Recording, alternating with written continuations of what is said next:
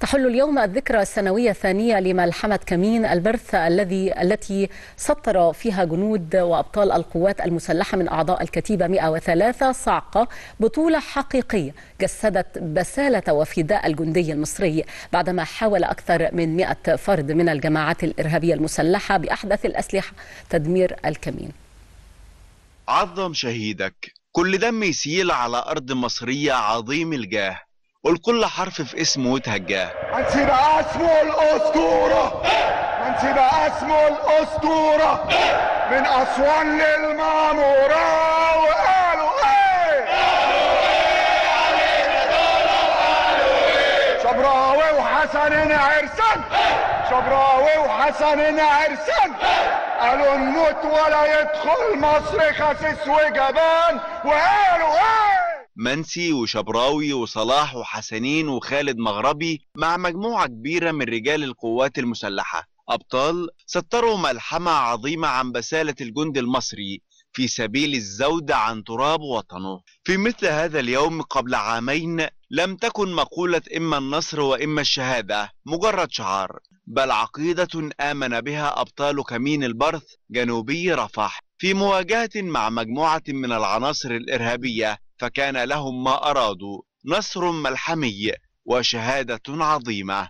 رجال صدقوا ما عاهدوا الله عليه فنالوا أجرا ارتقوا به إلى منزلة الأبرار والصديقين والشهداء. بعد موقعة حربية أظهرت تفاصيلها أنها لم تكن مجرد هجوم إرهابي بل عملية مكتملة الأركان. تخطيطا وتنفيذا وتمويلا لكن أبناء الوطن الشجعان الذين ضحوا بدمائهم حتى آخر قطرة أبوا إلا أن يردوا كيد الأعداء في نحرهم.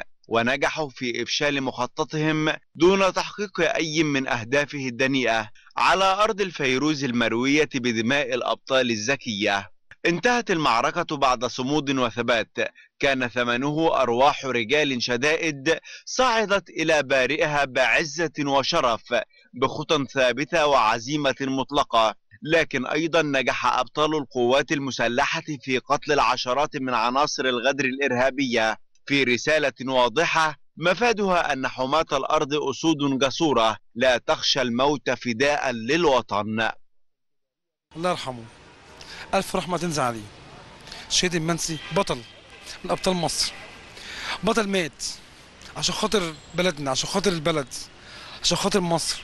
عشان خاطر إحنا نعيش. نشكر طبعا كل أهالي الشهداء وخصوصا الشهيد أحمد منسي اللي قدم حياته فداء للوطن. فرحمة الله إليه وربنا يرفعه وييسر أمور أولاده ويسهل لهم في الدنيا إن شاء الله كله حاجة.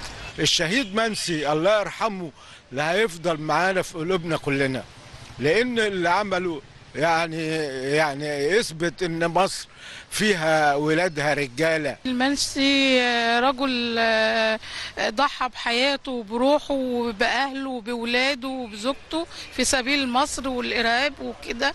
وربنا يجعله في الجنة حي يرزق. والله الشهداء ده يعني ضحى بأغلى حاجة عنده اللي هي روحه في سبيل إن إحنا نعيش في أمان والبلد تعيش في أمان.